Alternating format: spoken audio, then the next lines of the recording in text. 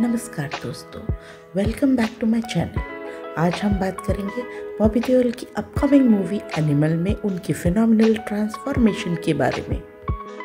Director Sandeep Reddy Vanga ने बॉबी को कैसे एक और लेवल पर लेके गए, उनके पीछे की कहानी, सब कुछ आज हम एक्सप्लोर करेंगे। डायरेक्टर संदीप रेड्डी वांगा ने किस तरह से सोचा कि बॉबी को रणबीर से बड़ा और भारी दिखाया जाए, इससे कैसे एक ट्रांसफॉर्मेशन प्लान बना, सब कुछ आज इस वीडियो में जानेंगे।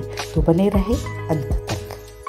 प्रज्वल शेट्टी ने तैयार किया वर्कआउट और डाइट प्लान जिससे बॉबी ने हमारे एक्सपेक्टेशन को पार किया। बॉबी देओल ने शामिल किया फंक्शनल ट्रेनिंग अपनी फिटनेस रेजिम में स्पेशली फ्लेक्सिबिलिटी के लिए। बॉबी देओल 54 साल की उम्र में दिखाया कि फिटनेस में उम्र सिर्फ़ एक संख्या है। तो चलिए जान लेते हैं, बॉबी देओल के चार महीने के डाइट प्लान के बारे में, कैसे उन्होंने मेंटेन किया एक संतुलित आहार और क्या कुछ खाया, ये सब आज हम एक्सप्लोर करेंगे।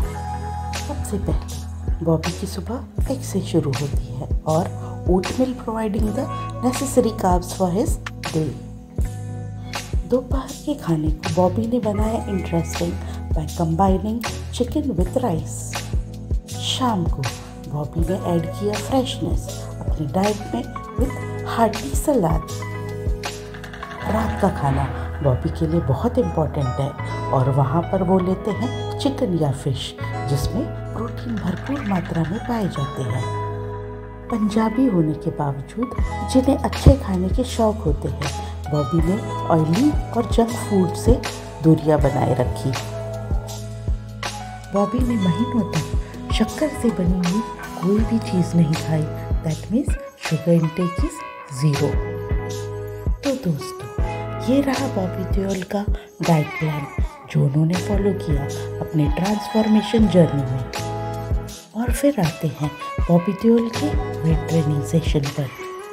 बॉबी देओल रोज सुबह और शाम एक घंटे का वेट ट्रेनिंग और 40 मिनट का हाई इंटेंसिटी कार्डियो करते हैं। क्या आपको लगता है कि एज के बावजूद भी हम अपने फिटनेस गोल्स को अचीव कर सकते हैं? हमारे साथ अपने व्यूज़ शेयर करें कमेंट में। और अगर आपको ये वीडियो पसंद आया तो लाइक करें शेयर करें और हमारे चैनल को सब्सक्राइब करें। हम मिलेंगे आपको नेक्स्ट वीडियो में। तब तक के लिए take care and stay fit